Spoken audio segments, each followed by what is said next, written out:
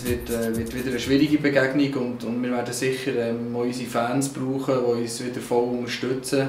Wie sie uns auch äh, gegen Kasachstan haben unterstützt, das war fantastisch, gewesen, vor allem am Sonntag auch, äh, wo, wir, wo wir das Wasser wirklich äh, weit oben im Haus hatten, haben sie uns wirklich dann nochmal gepusht und äh, ja, haben sehr geholfen, dass wir dort die zwei Punkte können, können heimholen können. Also es war so laut und, und die Leute haben es wirklich dort, äh, wie ich vorher gesagt habe, extrem gepusht und, und äh, wirklich das Letzte aus den Spielern und aus der ganzen Mannschaft äh, rausgeholt. Man kommt dort fast ein bisschen wie, sage jetzt mal, äh, in Trance rein zum Teil. Ähm, ja, es war wirklich nicht permanent so laut gewesen und das ist wirklich das, was wir einfach gebraucht haben, für, für die Partie noch können, können umzudrehen. Weil wir haben wirklich von Anfang an gemerkt, vom ersten Punkt oder schon vom Einspielen an, dass die Leute einfach wirklich äh, wie eine Wand hinter uns stehen. Und, äh, ja, das, das ist sehr wichtig für die Spieler und, und für den Rest der Mannschaft, für äh, Erfolg zu haben.